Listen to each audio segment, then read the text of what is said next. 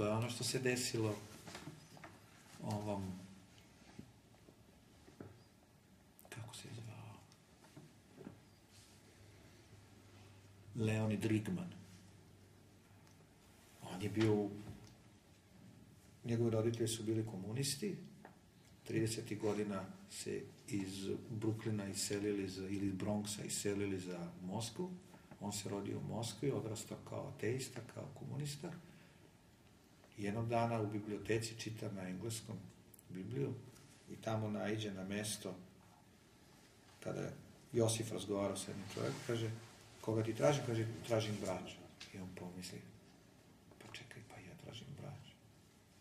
I ode posle toga i stane u red za Macis u velikom moskovskoj sinagogi i posle postao jedan od velikih refuznika tamo, disidenata, religios.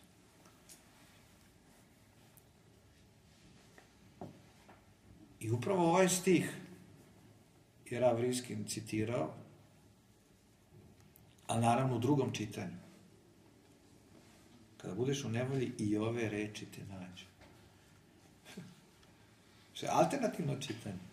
Sad pazite ovo, i sve te to snađe, dvarim, devarim su, i sve ove stvari te snađu, nevolje te snađu, to je reč na hebrejskom. Međutim, devarim takođe znači i reč. To je ono što smo govorili prošli put. Znači uvek imate i alternativno čitanje. Vidjet ćete, to je fascinantno. Naročito za egzegetiku. A ovde u ovom slučaju, dakle, kad budeš u nevolji i sve te to snađe, jeli, i ako se u poslednje vreme obratiš ka gospodu Bogu svome, misli pred kraj svog života, jeli, i poslušaš glas njegov, ne, gospod Bog tvoj milostiv, neće te ostaviti ni istaviti. Šesti stupanj. Predzadnji stupanj je pokajanje u starosti, kada čovjek više nema dovoljno snage da živi grežnim životom. Da ima, produžio bi on, a ne.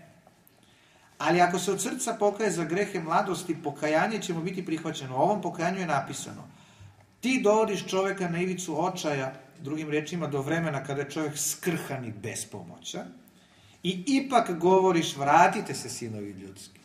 Pazite egzegezu ovog stiha. Ti dovodiš čovjeka na ivicu očajanja i govoriš, vratite se sinovi ljudski. To je šesti i sedmi. Posljednji stupan pokajanja je pokajanje tik pred licem smrti. Kada je neko proživeo čitav život bez da se pokajao. Talmud nam u ovakvom pokajanju kaže pokaj se čak i jedan dan pre smrti. E sad pasite. Pogledajte priču koju govori Midraš. Ovo je toliko jasno rečeno da svako može da razume. Koncept pokajanja je koncept, kažemo pomalo i abstraktan koncept. Vi se kajete pred kim? Dođite pred čoveka i tražite oprost. Ali ako ste počinili teške zločine,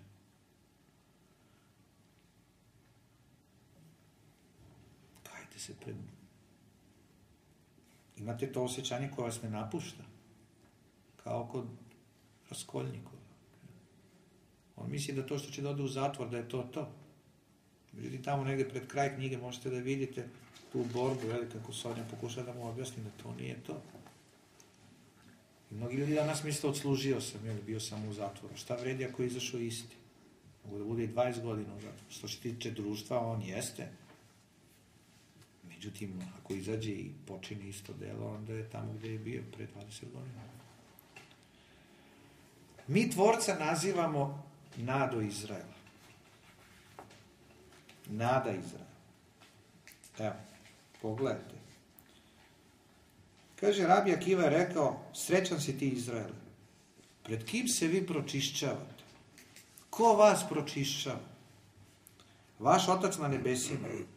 Zato je napisano, pokropit ću vas vodom čistom i bit ćete čisti. I napisano je, Bog Hašem je mikve Izrael. Mikve je jedan potpuno drugi koncept o kojem ćemo mi govoriti neki drugi put. Kao što mikve pročišćava nečiste, tako i Bog pročišćava Izrael. To piše u Mišni, u traktatu Joma.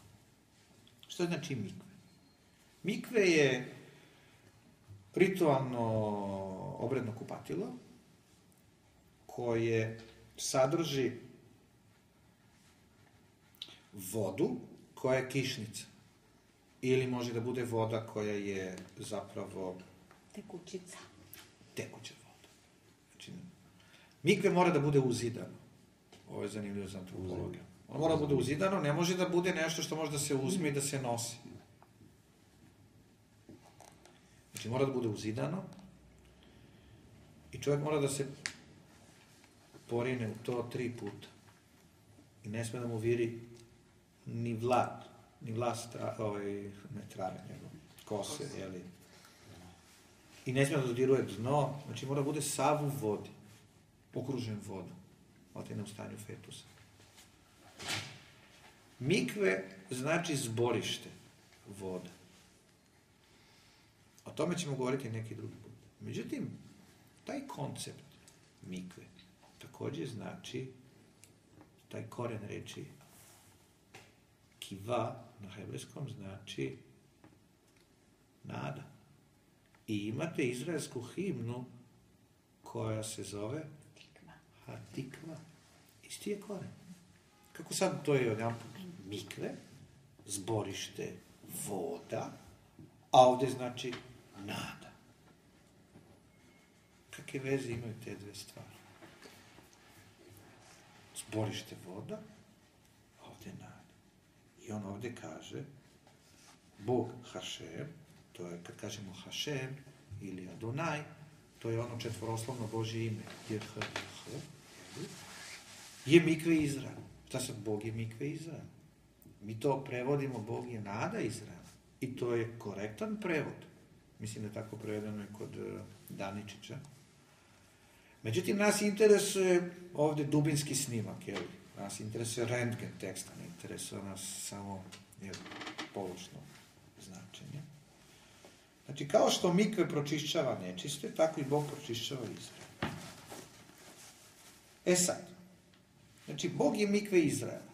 Znači, on je zapravo zborište voda u, u kojima se mi pročišćavamo. Okay? Sad, nećemo govoriti, on, to ćemo govoriti drugi put. Okay?